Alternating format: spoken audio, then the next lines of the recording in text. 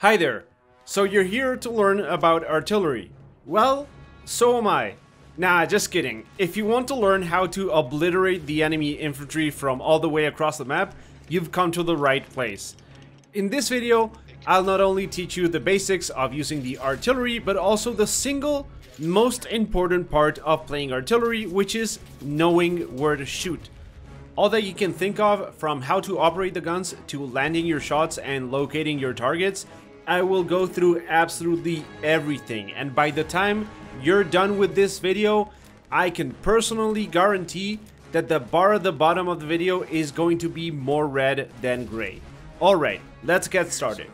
But first, I want to give a big shout out to my buddy Seedup, who's been extremely supportive and a big help making all of these videos. Seedup is really active in the competitive scene and he's probably one of the best players out there, especially in terms of knowledge of the game and tactics. So big thanks, man. Alright, now let's get started. There are three artillery guns per side and they are located at the center spawn point at the edge of the map for each team. Some maps have no artillery on your side or on either side however so you can always check your map for this before you spawn and start running around aimlessly. Artillery cannons have two positions, the gunner and the loader. Both positions can rotate the artillery and you will need to rotate the gun from both positions to reach some spots on the map. As a loader, you can choose to use HE shells or smoke rounds, which you will need to manually load before firing by pressing R. HE rounds consume 3 munitions while smoke consumes 5. If you're wondering what munitions are, then check out my beginner's guide to Hell Let Loose because you pretty much need to know that if you want to go artillery. You can shoot the artillery perfectly fine on your own and it's arguably a waste of resources to have two guys manning the same artillery since you just get a marginally better fire rate than switching positions back and forth entirely on your own. Provided there are enough munitions, it's actually probably better to man two separate guns then have two guys operate just one. To load and fire as fast as possible, switch back to the loader position as soon as you fire, press R, and then start switching back as soon as the loading bar gets around the icon for the ammunition type. As soon as you finish loading, if you do this, you'll already be in the gunner position. As I mentioned before, both the gunner and loader can rotate the gun left and right by using the A and D keys, but only the gunner can control the elevation by pressing W and S. The angle you tilt the gun at will determine its range, and you can see its precise value by checking out this number right here. Now, in order to land your shots where you want on the map, you need to do something very simple. Just download the HLL Artillery Calculator app on your phone or go to any of these pages where you can convert a distance on the map to the exact angle that you need to put the artillery at. But first, you need a way of knowing the distance to your shot. The way you do this is the following. You either use an existing marker on the map or you place your own by creating a locked infantry unit. Then open the map, right click, and you're done. You can view the distance right there on the map by just hovering over the mark, or you can toggle these marks on and off on your HUD by pressing T. Use this to center the line on the gunner position on that mark. Now all you need to do is input the distance in the calculator app to figure out the angle you need to shoot at and you're ready to go. There's also a table on the left that you can use to guesstimate your shots but you 100% want to use something like this app because it's just faster and way more accurate. If you're going to really commit to playing as arty, you'll want to play as squad leader since you'll hear the command chat and see everyone's markings on the map as well as the marks from recon planes. So just, you know, create a locked infantry unit and go artillery. You'll also be able to communicate with squad leaders and let them know when you're firing and where, so they don't accidentally run into your shots. Okay, so now you know how to shoot, but there's still plenty more that you need to know and consider when playing arty. The first thing you need to do is make sure that you'll have plenty of munitions, and that means building munitions nodes. I haven't seen Any other guides mention this, and to me, this is like the first step an artillery user needs to do. After all, if nobody builds the nodes, you simply won't be able to shoot your artillery for too long. So, you need to build nodes. You can do this by either teaming up in an existing squad or creating your own. What you want to do is get as deep into enemy territory as possible with an engineer and a supply guy since nodes generate progressively more resources with each grid square of separation from the base.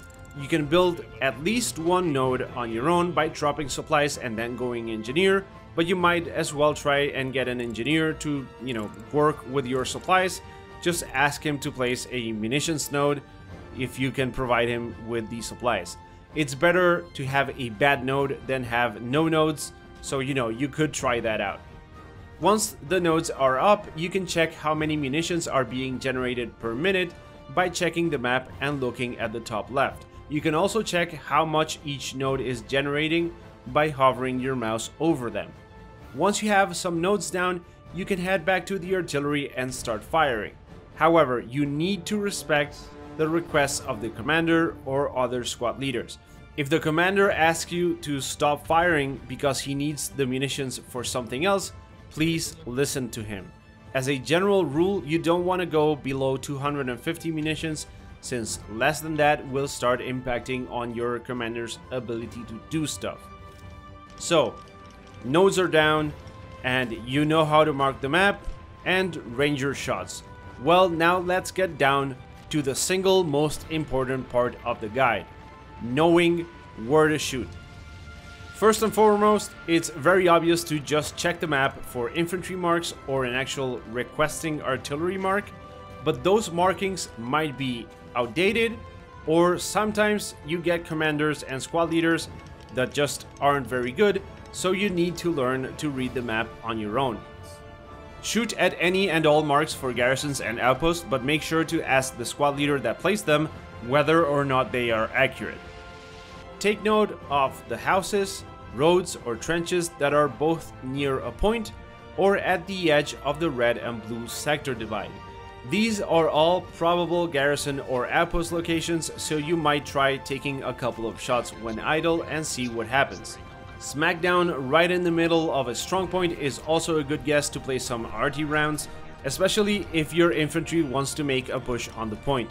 However, you need to be acutely aware of the fact that artillery rounds take around 20 seconds to land, so whenever you fire, you need to wait for 20 seconds for whatever is going to happen when that shot lands. That means you need to account for the fact that your infantry might be able to reach the point you just shot within those 20 seconds, so just be extremely careful. You are bound to do some TKing with the arty, it's fine, you know, but just look out for it. Next thing you want to be on the lookout for is which way your guys are pointing at. You can often take a really good guess at where the enemy is by looking at where your troops are facing. Just see where the little arrows converge and mark that as a spot to fire upon. There are a lot of different cues like this that you can take from the map to be able to figure out where the enemy is. Look at where the dots are disappearing, look at where they move and where they stay still. All this is information that you need to use to learn where the enemy might be located. One last tip is to shoot a couple of rounds on the enemy side of the middle point at the start of a match. Just use your own infantry as reference of how far along the enemy might be on the map and just drop a couple of shots on the path that the enemy is most likely to take towards the objective. Okay, now that you have a fairly decent idea of where you want to land your shots and you know how to fire accurately, let's talk about the fine art of artillery fire. Don't just fire all your shots at the exact same spot over and over. While there is some randomness to where the shot lands, dial one degree up or down, shoot again, then maybe rotate the gun just a tiny bit to the left, fire again, and repeat. You want to cover a general area around your arty mark without deviating way too much from it. This ensures that you carpet the area with blasts, which, you know, given how large the explosions are, it's better than just hitting the same spot over and over. You can add references like the observe mark, infantry mark, artillery mark, and a bunch of others to help you measure several distances at once and ensure that you're firing within a certain area. Whenever you hit an enemy, you'll hear a sound like sort of like a coin, which as long as you keep hearing that, keep shooting that same area. You can also press tab and see if your score goes up if you're unsure if you're landing your shots. As long as you keep hitting the enemy, just keep shooting. But always check the available munitions since if the enemy happens to take down your nodes, you will very quickly deplete the munitions by firing like a maniac. My advice, if this happens, is go get those nodes back up because, you know, you need them to keep firing the artillery. Alright guys, that will be all for now. Hopefully this will help you improve your artillery game by quite a bit. If you like this video, please check out the other videos on Hell Let Loose in this same channel. And if you enjoy them as well, maybe consider subscribing. Thanks for watching and I hope to catch you in the next one.